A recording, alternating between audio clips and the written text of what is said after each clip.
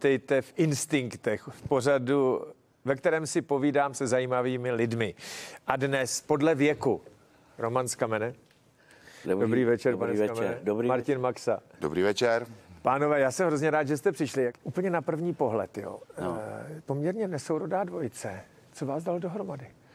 No ne, nechci se vás dotknout, pane Skamene, ale přeci jenom jste o dost no. Menší než Počkejte, pan Max. počkej, už, už tady tam nějaký Nekorektní. náznaky jsou, že jo, takový. Přitom si nás lidi tak pletou, No, věděl. nám říkají dvojčata, že jo, my vlastně v podstatě jo, že Ne, jo. k nerozeznání. No, no, Já si dokonce domnívám, že tady ten poslední počin, který máme za sebou, to znamená angažma ve filmu Tady hlídáme my, takže nás pan režisér Juraj Šajmovič přesně z tohohle důvodu obsadil, protože a, my tam hrajeme takovou dvojici, která je dost často v kontaktu a on chtěl asi podobně vyhlížející herce, No. tak nemohl sáhnout lépe než na Romana Skamene a Martina Maxu. Ne, to je hrozně bezvadný. My jsme, se, my jsme si v, zá, v zákulisí povídali a tady furt do sebe jako rejete, jo. Furt se špičkujete. no to musí být, to je, pro- to je život, já to strašně mám rád, tohle, to, když někoho tak jako no. mírně naštvu, mírně, ale to je, ale milo, jako miloučky, to není urážka, ale... to jsou jenom takový dloubance, vždycky ťuk do tohohle, no. Já teda to musím, vydrží. Ano, já musím říct, že Roman je přece jenom o hodně. kousíček jako starší a právě proto za celý ty léta, co se spolu známe, mě neustále peskuje No. jako moje 90-letá strašnou maminka. chutí, jo, to je, to je radost vždycky, nech to. Říkám, no vidíš, a teď to není zase. Ne, ne, tak takhle. vy, vy máte pověst jako nej, nej, nejmenšího českého herce. Krytinář ten... umřel, pa, pane Souku. Krytinář umřel, takže teď jsem nejmenší herec této republiky. Možná A na jste Slovensku. jako bezvadný herec a Martin Maxa se má pověst takového toho alfa samce, že jo? To je jenom ale pověst, která samozřejmě se nezakládá ani trošičku na pravdě. Jak to, že ne? Já když si otevřu bulvár každý druhý týden, tak jste tam slečený a říkáte, že si sám stavíte dům, že cvičíte, posilujete. Občas, že vás bolí záda, abyste nevypadal jako úplně No, ty mě jako bolí dokonalej, pořád, jako. že jo? Jako abyste nevypadal úplně dokonalej, že taky eh, vás něco bolí. Ne, tak ty záda mě bolí samozřejmě pořád a trošku vás popravím, zas tak často tam slečenej nejsem. Jednou mě vyfotili na té stavbě, kde opravdu občas přiložím, přiložím ruku k dílu a to je celý, tak zase vemte to v tak, že pohodě. v 35 stupňovém vedru, když tam člověk skládá cihly, tak nebude v koši. Pohodě. Jo. No pohodě. nebo ho bolí záda proto, že je vyhnaný práškama. Ale kde jsi to vzal, prosím tě? Zbytečně, jo, rozumíte, tahle moje posle mě nemůže bolet záda. Rozumíte, já mám tři obratle nebo čtyři jenom. Ne, ale Já tak, tak- eh, oba dva vás spojuje ten film, o kterém jste No, mluvili. to ten je určitě. obsah. Ano. A Nebo eh, to asi není úplně komedie, že jo? Když se točí Je. filmy, je, je to komedie. je s pejskama.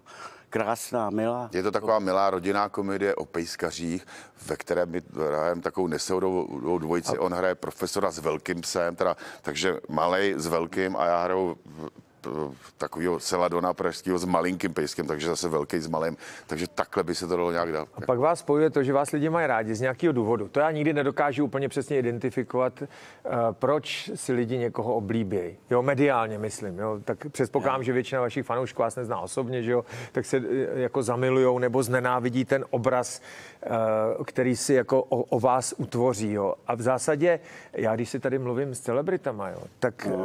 eh, je tam jeden problém. Lidi si udělají obsa, eh, obraz o člověku a ten člověk s tím v zásadě nemá nic společného. Mnohdy se, eh, mnohdy se eh, ukáže, že ten člověk je úplně jako jiný, jo? že v bulváru a ve, na veřejnosti má, že je rodinný typ, že je milej, vlídnej, vstřícnej, hodnej a ve finále, když ho pak poznáte, je šílený. Jo? To má- Tak počkejte, Martine, Jo. jste opravdu tak uh, uh, rovnej, čestnej, uh, chlap, o kterého se žena může opřít, jak vypadá v těch médiích? Nebo jste jemnej, nejistý uh, chlapec, který potřebuje být chráněn? Tak v rámci té své profese fakt nelžu, když řeknu, že jsem si naprosto nejistý. Já dělám muziku už nějakých 40 let a z toho 20 let jsem vidět. A pokaždý, když lezu na pódium, tak jsem takhle malej, jakou mám trému vždycky z toho a nikdy jsem jako si ani nedokázal eh, zdůvodnit, jako jak se ty moje životní cestičky jako nějak mě vedly, že jsem se nakonec dostal až třeba na nějaký, řekněme, titulní stránky těch médií, které o vás nakonec vytváří nějaký, jak říkáte, mediální obraz, který, za který já vůbec nemůžu, protože mediální obraz o vás vytváří někdo úplně jiný, který vás vůbec nezná. No to jo, ale vy jste člověk, který tu hudbu dělá 40 let, jak říkáte.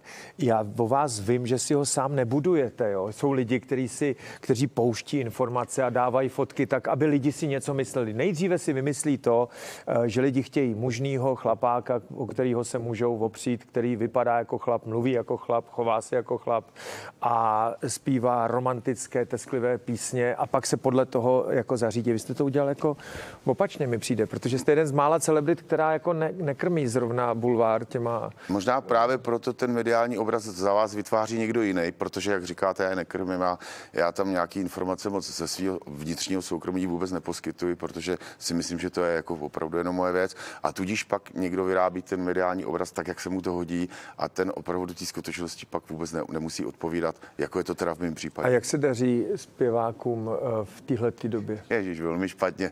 No. To je taková otázka. No. Zpěva, my zpěváci jsme už skoro druhé, vlastně už dva roky bez práce, dá se říci. My herci taky. Vy tak. To hned, hned k tomu půjdeme, Romane. No, no, jasně. No, takže já jsem se to snažil využít. Já mám štěstí ještě jednou koníčka, že ještě maluju obrazy, takže jsem se zavřel v loňském roce do ateliéru a hodně se maloval. Samozřejmě skládám zase další písničky, připravuji ještě další album, které snad v tom příštím roce vyjde. Už je to jenom taková opravdu společenská záležitost z plezíru, protože CDčka už dneska jako v podstatě no, ani nekupuje, takže to je jenom otázka ten fakt, že chci naplnit nějaký třeba přání mých fanoušků, který mi píšou na Facebook, že bych měl něco nového vydat, tak jsem se rozhodl, že ještě jedno napíšu. Jako no. A kšeft zpěváka, interpreta, vy si t- sám skládáte taky? Že? Já si skládám jak hudbu, tak texty, tudíž vlastně všechny ty moje vystoupení jsou pro mě velmi osobní, protože s každým tím svým textem, s každou písničkou si prožiju kus svého života. V čem, v čem je kšeft teď? Uh, ty, ty CDčka se neprodávají, to stahování hudby z internetu, to, je, to, je to kšeft? Nebo, a ty Není. koncerty jsou, že jo, to chápu, tam se kupují lístky, ale to se zase teď jako moc no, neprodává. No, proto říkám, že jsem bez práce, protože zpěvák v dnešní době je živ pouze jenom z koncertu, že si ho pořadatelé obešlou, že si ho objednají na nějaké vystoupení a má za to nějaký honorář. Takže když se dva roky nehraje, tak jsme dva roky bez honoráře. To jako logicky. Baví vás riskovat?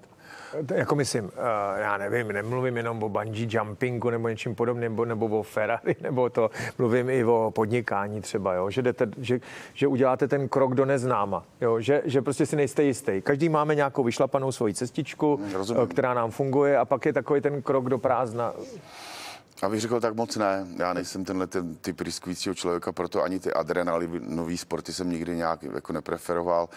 Mám takový pocit, že na ten svět jsem se dostal díky svojí mamince a tátovi a ty by rozhodně nechtěli, abych s tím životem, který mi dali, nějak jako nerozumně nakládal, takže v tomhle smyslu je to takhle.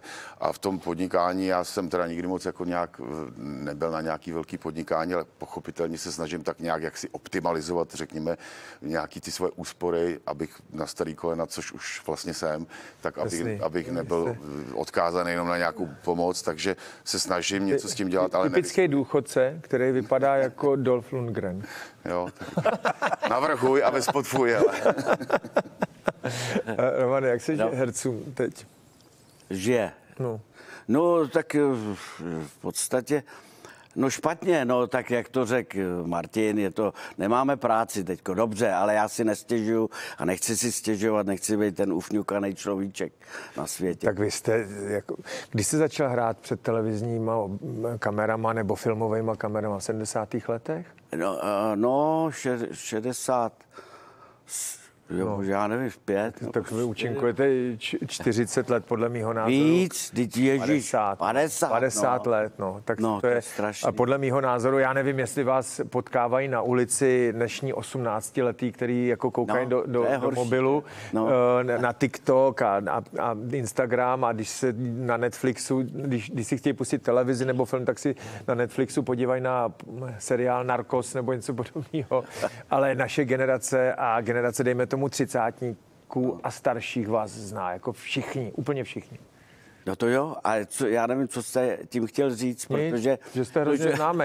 a že, uh, ale ty mladí už mě jako děti na mě čumě. A ne ještě, když přijde maminka s nějakým chlapečkem nebo holčičkou, říká, ty pan z kamene to vidíš, bu, ať se ti podepíše. A ten kluk, uh, jo, tak ale to zažívám každou chvíli, tohle. Ale starý lidi, jako jste vy a on, se možná Možná ne, ne, je pravda. My s Martinem jsme jako jo, k sobě věkově tak. blízko. Je, takhle, Ma- Martin je o kousek starší, jo? jo? My starý lidi, ale v našem věku se to tolik ne, nepočítá. Já, já, já už jsem v tom dávno, teda já, jsem, já můžete chodit pro pivo, když to tak vezmeš, jo? Ale eh, ten věk, to, hlavně, aby se člověk eh, cítil tak jako v pohodě, jo, takové furt něco, tak. protože my bydlíme na chalupě, už jako nastálo, takže tam je furt co dělat. A mám manželku, která je pečlivá a furt jí někde něco tady to udělej, se káží, to tohle udělej, bych potřeboval, to. tohle to a já furt šmejdím. Tady to upadlo. No a tohle tak. Přesně. Jak daleko máte oby? Nebo Bauhaus, nebo Hornbach? Uh, mám to, no, takových 15 kilometrů. Eh, to je každý druhý den tam jezdit.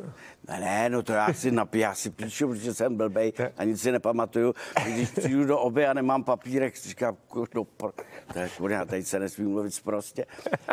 Eh, tak si říkám, co jsem to chtěl. A pak přinesu úplně něco jiného a jedu tam znova. Že?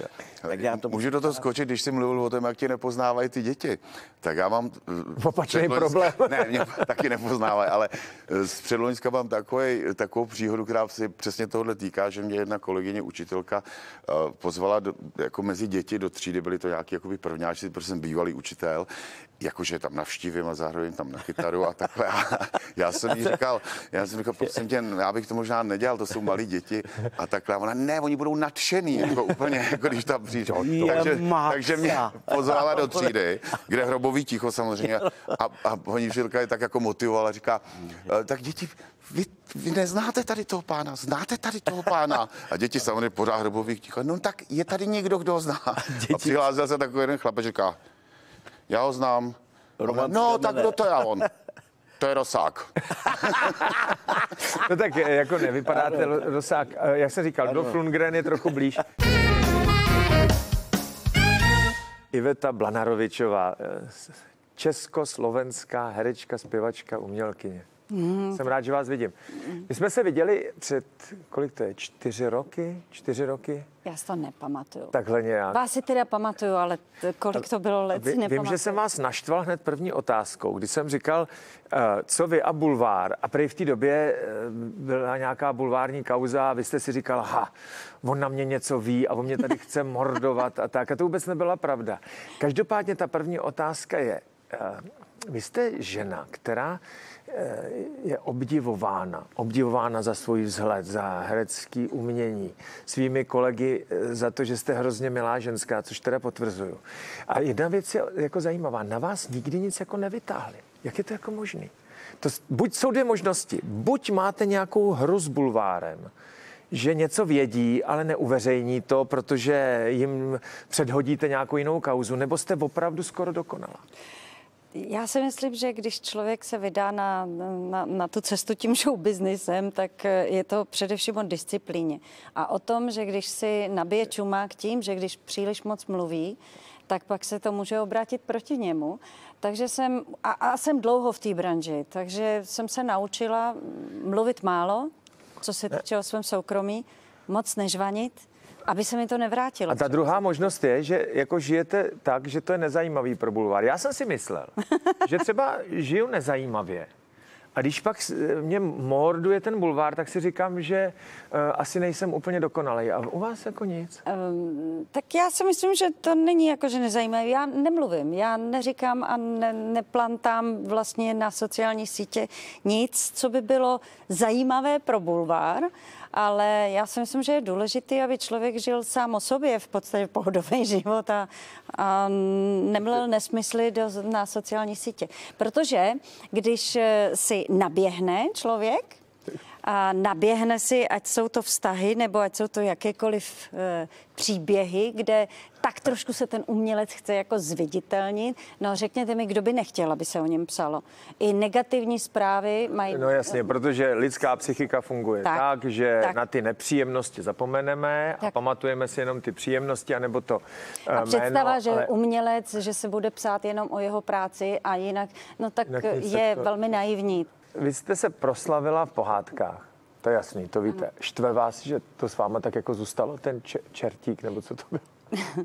že to s váma jako zůstalo celý život. Tak taky že jsem mohla natočit extero roli a lidi, No. no. když umřu, tak lidi řeknou, ta Blana, ro- hm, To je tam jo, to je, no ale nevíme, co natočila, takže je vlastně vy jako jste dostala fajn. Táli, tuším, že Českýho lva, nebo tam jste byla nominována. Tam jsem byla nominovaná na Českýho lva. Eh, Stvárnila jste jako de- desítky rolí eh, na divadle, eh, ve filmech, v seriálech a tak. No a čertík.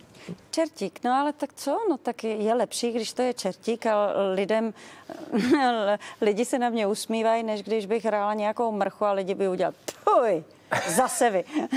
ale teď jsem to trošku rozbila jasně. seriálem, který jsem dotočila, že vlastně jsem konečně se převexlovala na maminu, eh, dospělé dcery a, mm, a byla to dramatická role, tak to bylo fajn. Dcera byla hodná, nebo... nebo... Byla úžasná dcera a jako i, i televizně byla její dram, jako linka, byla velmi fajn, ale, nebo je fajn, ale já už jsem po smrti, takže jako já už se na to dívám spíš jako tak jako s Jo, nadhledem. jo, takhle, na ne, to. protože my máme plus minus stejně starý syny. A, no, Mýmu synovi je šílený. dva, 28 mu bude.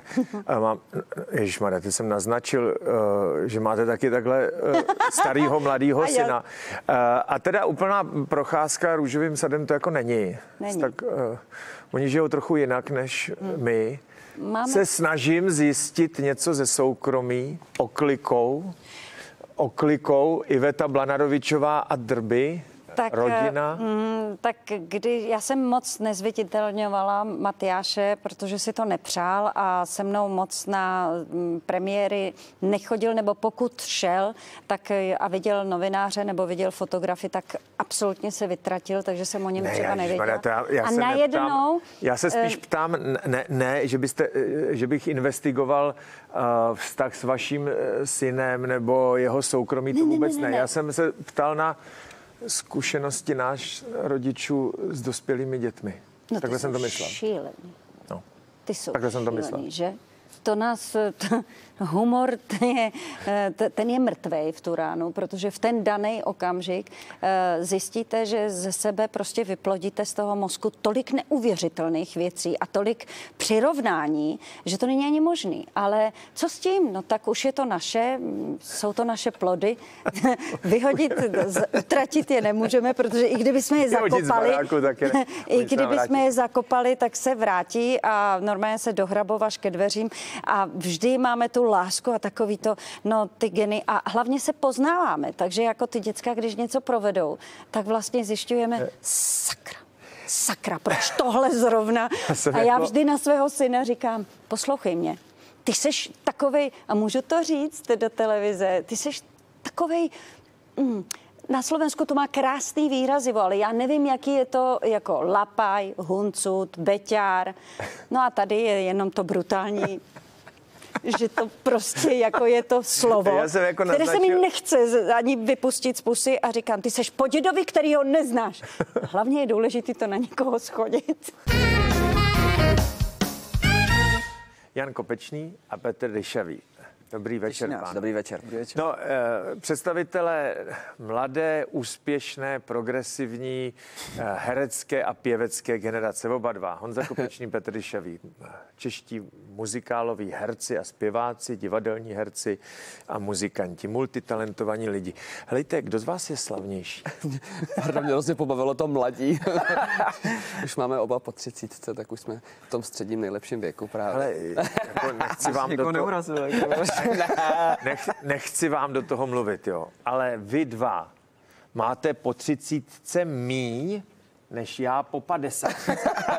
No ne, já si vždycky představím tu, jako tu mladou partu, mladou kapelu, ty kluci, kterým je prostě 15 a mají tu svoji první zkušebničku a ty svoje první písničky, tak to už máme za sebou tohle. Takže my jsme už, dejme tomu, v té druhé fázi, no. No a počkej, tak kdo z vás je slavnější? My Slavnější. jsme si na tohle snad asi jako nikdy nehráli. My to bereme tak, že bonus, když najednou někdo je třeba trošku víc vidět, někdo míň a pak se to prohodí, protože vždycky je to přínos. Jakmile má Honza nějakou akci, tak tam jdu s ním já, jakmile já mám nějakou akci, tak tam jde se mnou stejně on, takže ne, vlastně... Jako dneska tady. Já vás oba znám, tak eh, jste jako bezvadný, pěvecky bezvadný, herec, herecký umění prostě bezvadný, jste jako hotoví umělci a z mého pohledu ta nová eh, mladá generace, ještě máte spolu kapelu, ten Botox, takže Mhm. jako toho nemáte dost, tak pro mě je to jako sympatický, protože to neděláte jenom pro prachy, jo. Že vás to jako baví a je to taky na vás vidět, no. Tak zrovna na tak a- obou dvou. tak a- a tak jako sorry, že s váma mluvím jako s bratrem, Ne, to je že na vás mluvím jak, jako na Ne, dvojčata. A to nevadí. To náhodou jste krásně chytil, protože vlastně děláme to divadlo proto, abychom mohli mít kapelu, protože to stojí spoustu peněz, takže, takže jo, Tak, děláme ale to, děláme pro nás to je to takový útěk vlastně zpátky. Vlastně ta kapela byly takový naše začátky, kdy jsme si říkali, eh, ano, muzika nás baví, chceme ji dělat, jenom eh, vlastně nevíme ten směr. A najednou třeba přišel muzikál, eh, u Petra třeba přišla konzervatoř a postupně se- to nabalovalo a pak jsme si po nějaké době řekli, sakra, my vlastně furt interpretujeme nějaký role nebo písničky někoho a řekli jsme si, pojďme se vrátit zase zpátky do těch 15, do té zkušebny a proto, proto Botox. budete jako tvořit, ale musíte si to jako do, dotovat Tak uh, z, z, z, práce, kde jako in, jste interpreti, kdy jako hrajete roli nebo písně uh, v nějaký roli. Hele, jak vás to při- přijalo, to pražský umělecký prostředí? Jo? Já, já mám divadelní prostředí hrozně rád. Jo? Uh, každý z vás herců je jako unikum. Jo? To je jako unikátní člověk.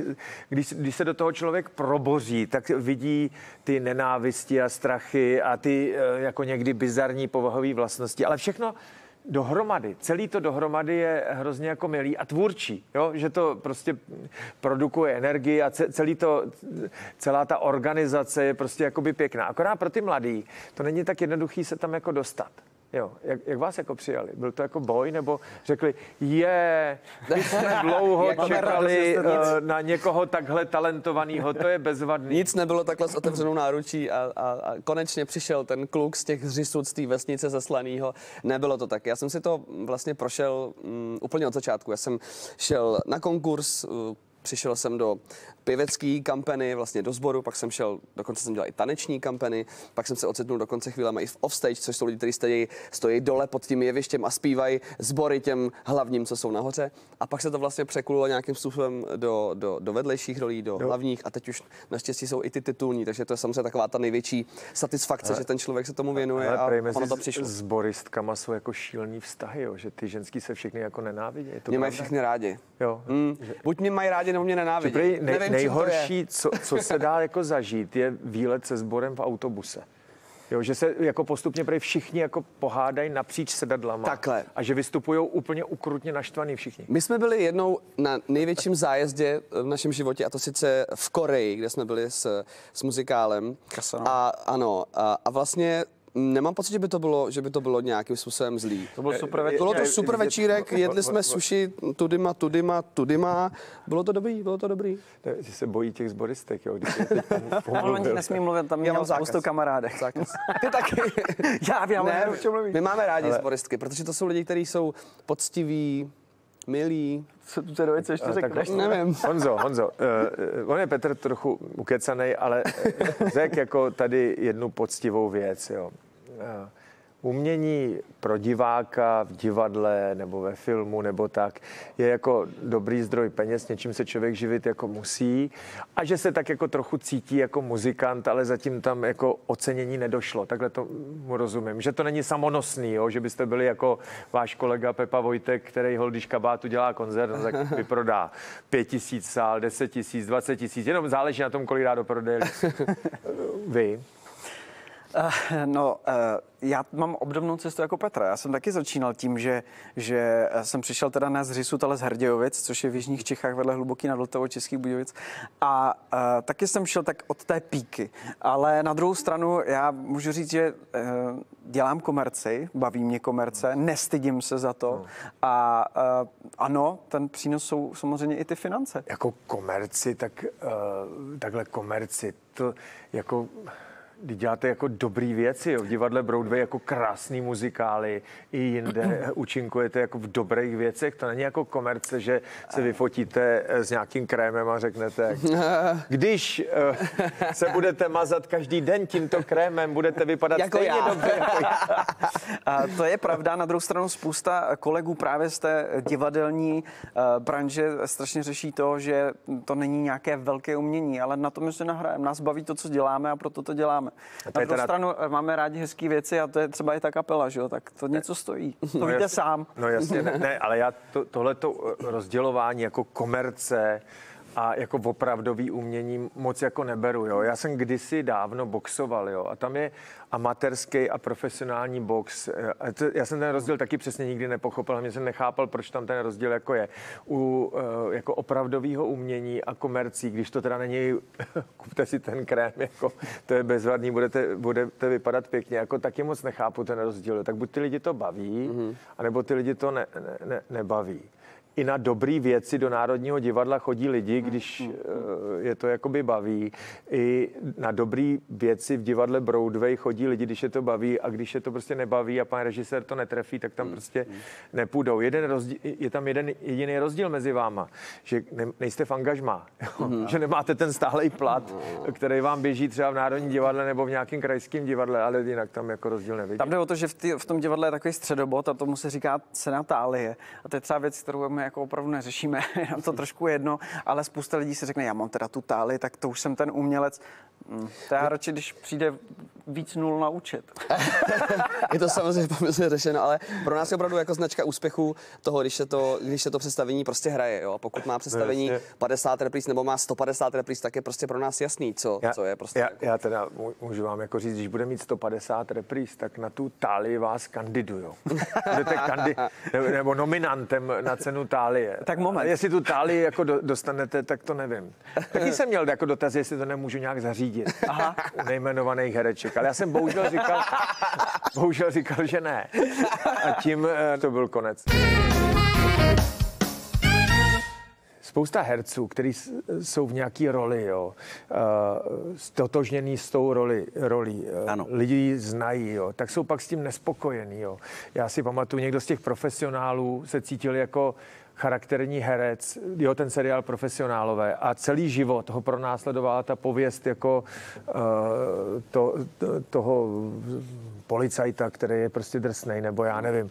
Ptal jsem se tady Heidi Janku, jestli jí nevadí, že asi 40 letý pořád, ah, pardon, jsem nechtěl urazit Heidi Janku, tak dobře, 15 let jí spojují s, eh, s písničkou, když se načančám. Nevadí vám jako to magický oko?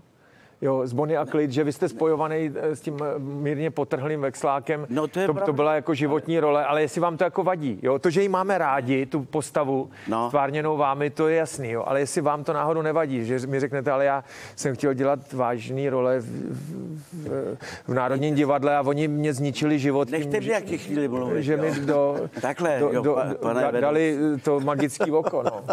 je to tak, je to, je to pravda, jo, tahle ta role role je, byla fantastická právě proto, že to jsme dělali ještě za Komančů a v 67. Ale oni to nějaká ta... 87. Co jsem říkal? Oni 67. Eh, 7, 8, eh, 7, 87. 87. Takhle. Vy jste jak furt žvaníte, jo, tak já pak jsem se dostal že ty čísla nějak nejdou, ale oni se jde, to, to je jedno, to si každý dá dohromady. Ale oni to, Barandov to povolil, ale hned jak to povolili, tak se to teda začalo točit, tak to nechtěli zastavit, ale už věděli, že to půjde do šuplíku, jo. Ale tím pádem my jsme měli vlastně takovou volnou ruku, jo, takový volný jako průběh toho, takže se tam některé scény se vymýšlely přímo na scéně, jo, na tom, jo, my jsme si vymýšleli. A Takže jste byli ožralí při tom, uh, když jste točili jo, to magické oko. Jo. A no, tam mě ožrali, když jsem dělal to magické oko, já byl jak, jak dobytek, jo, to je pravda, protože to bylo opravdový pivo, nevím, jestli mi tam dávali dvanáctku nebo co, ale opravdu ta, ta zelená odporná, do, do teďka jsem se od té doby, jsem se zelený nedot, přísahám a magický oko nesnáším, no vůbec, jsem, to, nesmysl. Ale je pravda, že se to dělalo s takovou láskou, ale tam všichni byli, eh, to dělali opravdu s takovým nadšením, ten film, protože to byla vlastně taková vlašťovka první. Už se cvrkalo, že ten komunista tady dlouho nevydrží, že jo, to už se trošku vědělo.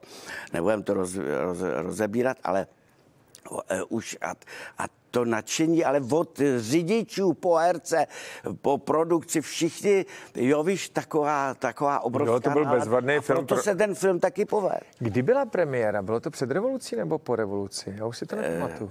Ježíš, to jsou teda, myslím, že... Bylo před revolucí. Před revolucí, Před myslím. revolucí. A e, toč, toče Radekion, byl tam pan Potměšil, Vysteral, byl to jako bezvadně udělaný film. Ta dvojka už se podle mě tak... Ne, to už, To už se moc nebylo. nepovedlo, no. No, to se To tak nepovedlo. bývá. Hele, ale to bylo právě proto, že ten film byl škrcený na čase, škrcený na prachách. A já tam vždycky přijel a všichni chodili, jo, takový, jo, tak dneska tohle, tohle. Nervozita, tohle všecko. Málem mě Olmer trefil flaškou od Coca-Coly, protože já se šel vyčurat a on jak byl naš, tak to hodil, nevěděl kam a mě to ulítlo takhle kolem kebule, ale to je, to je takový. No, ale tam se spojovaly pak eh, jako obrazy do, a, a, a už ta, ta nálada nebyla taková. A proto to nemělo taky... Je, takový- já nechci být nějak moc užvaněný, jo. Eh, To nejste vy. Abych vás nějak nepopudil, jo, ale, Vůbec. ale eh, k tomu, jestli vám vadí ta, ta, ta role, by jsme, s- jsem se chtěl zeptat. Ne, jestli vám vadí, že to s tím lidi spojují. A potom tankový prapor ještě.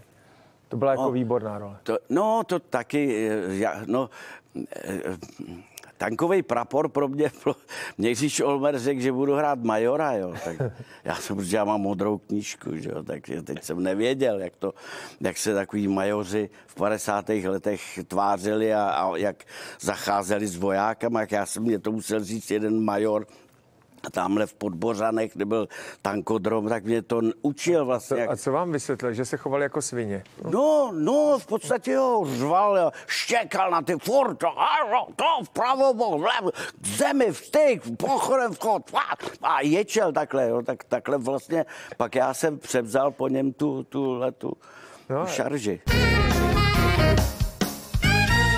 Spousta lidí, ale většina lidí ve vaší branži, a teď poznámka číslo jedna. Já si jako lidí ve vaší branži herců jako opravdu vážím. Každý je nějaký, každý je složitý, je, někdo je dobrý, někdo je špatný, ale je to jako eh, tvůrčí atmosféra. Jo, prostě ta, ta herecká komunita, režiséři, majitele divadel je prostě tvůrčí atmosféra, vypadává tam přes všechny porodní bolesti jako dobrý věci. Je to prostě dobrá energie, divadelní představení, ta energie těch eh, divadelních souborů nebo filmarských, to je prostě dobrý, to je pěkný, podle mě jako návykový. A ono vás to jako nudí, jo, že musíte dělat ty nadace a, a, a další a další jako věci. Ono vás to jako nudí. nevím. Když se mě zeptáte, proč mám už tolik let se věnuju nadaci, No, nevím.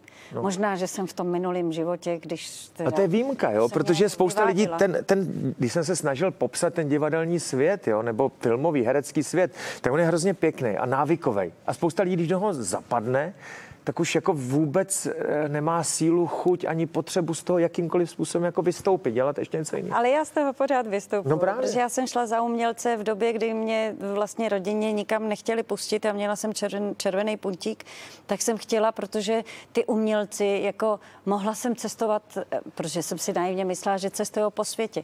A já vzhledem k tomu, že nás nechtěli pustit ani na Balaton, to mladý možná nebudou vědět, ale fakt to bylo ukrutný, tak jsem chtěla jenom cestovat po světě. Takže já dělám práci, kterou miluju, ale je to prostřední k tomu, abych si vydělala peníze a mohla cestovat.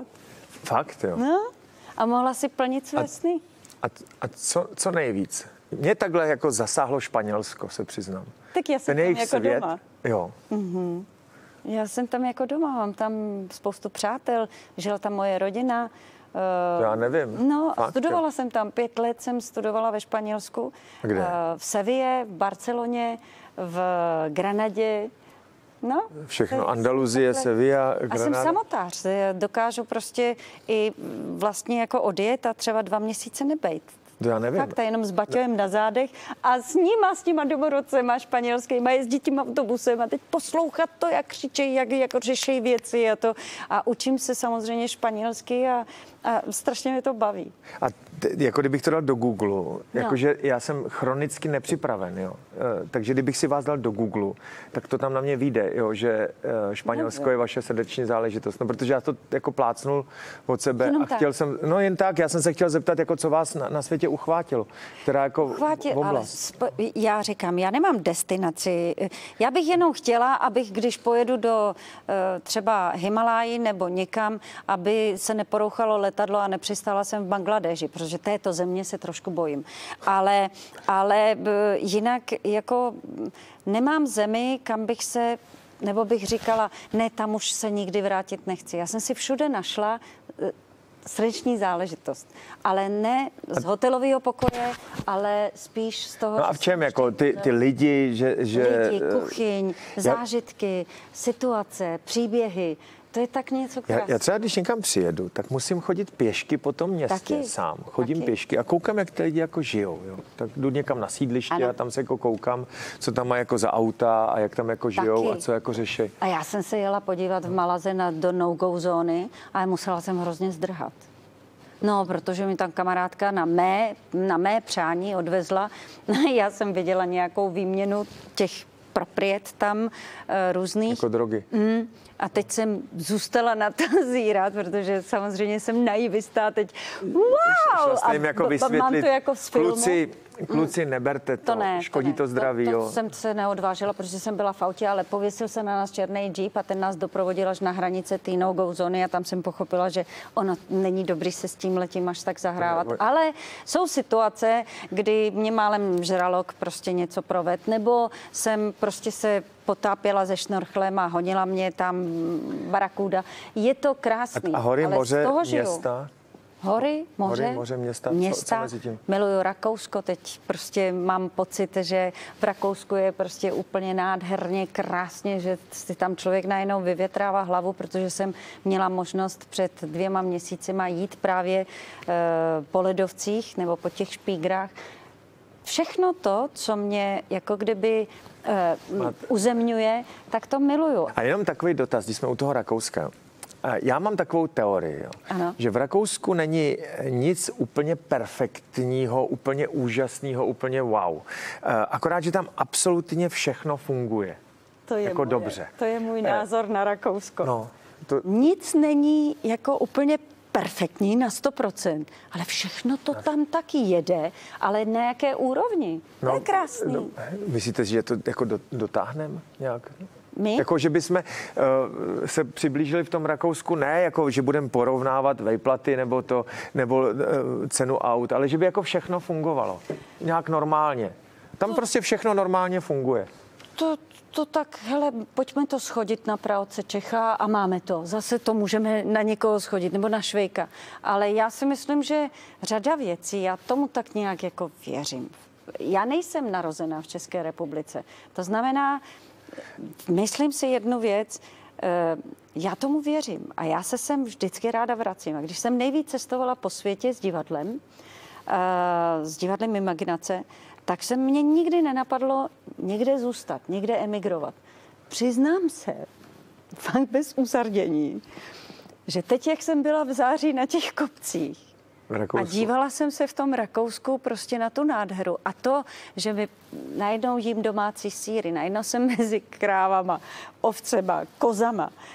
Najednou se si říká, já bych tady tak zůstala. A tak zoufale se mi nechtělo vracet zpátky, že se si říká, kdybych samozřejmě byla mladší, tak eh, bych oželela i ten eh, show business a to divadlo možná. Já, já si myslím, že ne, že byste zase šla dál a dál a dál a dál. A zase byste skončila u toho, že se potřebujete jako podělit o svoje bohatství, ať už hmotný nebo nehmotný, jako s ostatníma. To by vám zůstalo. Takže byste určitě nezůstala v tom Rakousku. Já se vás typu, že byste tam dala dohromady eh, nějakou komunitu, která se tam bude starat o zvířata, nebo byste tam asi dal dohromady stejně nějaký divadlo.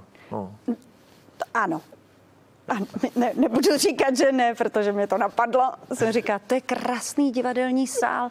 No. Sakra, tady by, tady by to bylo tak krásný Vidíte. udělat něco. Já, já, no. já myslím, že jste to zvládla dobře zatím všecko. A to toho máte za sebou teprve jenom půlku, jako v životě. Ty vy jste hodný. Ale zase já se řídím jedné věci.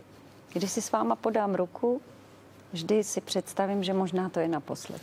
Když pohladím zvíře, také si myslím, že je to naposled, protože nikdy nevíme, co bude za chviličku. Takže já žiju teď, tady, teď mi je tady s vámi hezky, No. A, tak, A takhle, to si myslím, že, že je nejdůležitější. To znamená, věci dělám tak s tím jako aby člověk se na, za ně ne, nestyděl, aby, aby neříkal, je, tohle to jsem neměl, tohle to jsem se zachoval špatně. No, je to hezký říkat, ale blbý udělat. No, tak vám se to daří, mě moc ne, no. A, ale hele, ten tenký led chlapům sluší. Iveto, já vám moc děkuji za to, že jste přišla. Já vám taky. Mějte se hezky.